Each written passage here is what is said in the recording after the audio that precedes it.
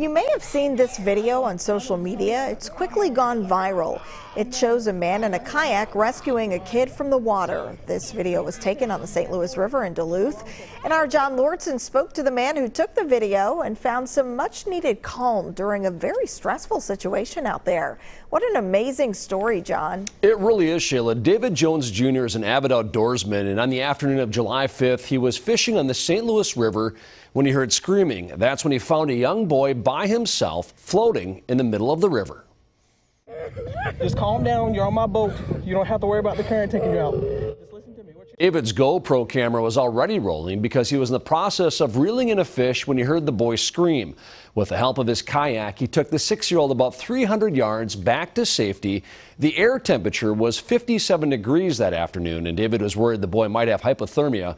But he says his law enforcement background helped him de escalate the situation and help the boys stay calm.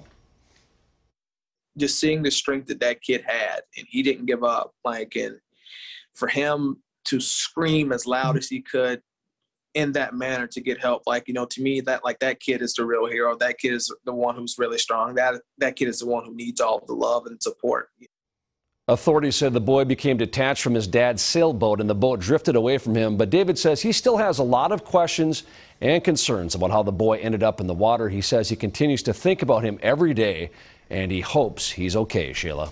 Talk about right place at the right time, Absolutely. John. Very lucky, yes. Yes, thanks so much. We're tracking the